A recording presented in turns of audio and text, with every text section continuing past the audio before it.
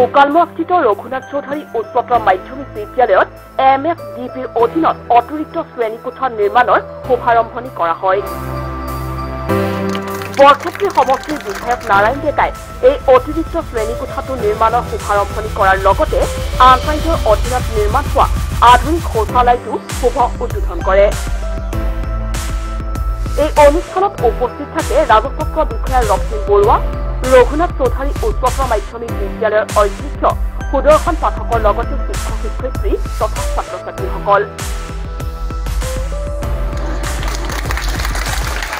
মোকালমৰ পৰা বিতুপন কাকতিৰ report A W N twenty four news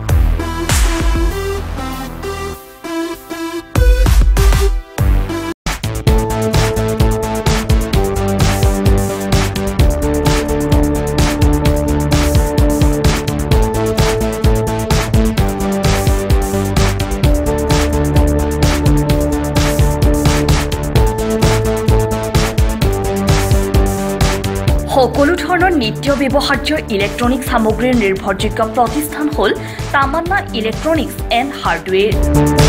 শাৰদীয় দুৰ্গা পূজা উপলক্ষে আমি গ্ৰাহকলৈ আগবঢ়াইছো বিশেষ ৰেহাই। আমাৰ ঠিকনা হ'ল Tamanna electronics and hardware P H C G পথ ডেৰগাঁও ষ্টেট বেংক অৱ ইণ্ডিয়াৰ বজাৰ শাখাৰ কাষতে আছে এই প্ৰতিষ্ঠানখন। গতিকে পলম নকৰি ক্ৰয় কৰকহি আপোনাৰ প্ৰয়োজনীয় ইলেক্ট্ৰনিক্স সামগ্ৰী।